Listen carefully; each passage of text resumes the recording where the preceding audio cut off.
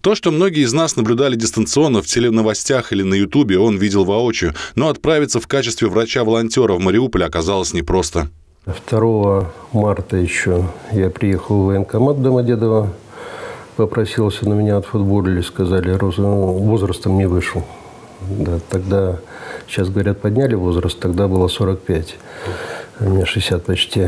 Потом Минздрав писал. Помогло обращение к депутатам Государственной Думы, ведь ехал он не воевать, а помогать раненым. А врачи в Мариупольской больнице, ох, как нужны. Несмотря на то, что город фактически полностью разрушен, медицинское учреждение продолжает работу. Вообще там нет живого места, ни одного дома нетронутого нет. Но больнице повезло э, в этом отношении. В нее только один прилет был. Э, на четвертом этаже там в отделении хирургии влетело. Поначалу Александр Баюкин планировал работать врачом-трансфузиологом, специалистом по переливанию крови, и даже стал одним из первых доноров о вновь открывшемся отделении. Но на других направлениях остро не хватало медиков, и пришлось переквалифицироваться. Я пришел к главному врачу в первый же день и спросил, Людмила Кирилловна, поставьте, определите фонд работы. И мне дали перевязки. И угу.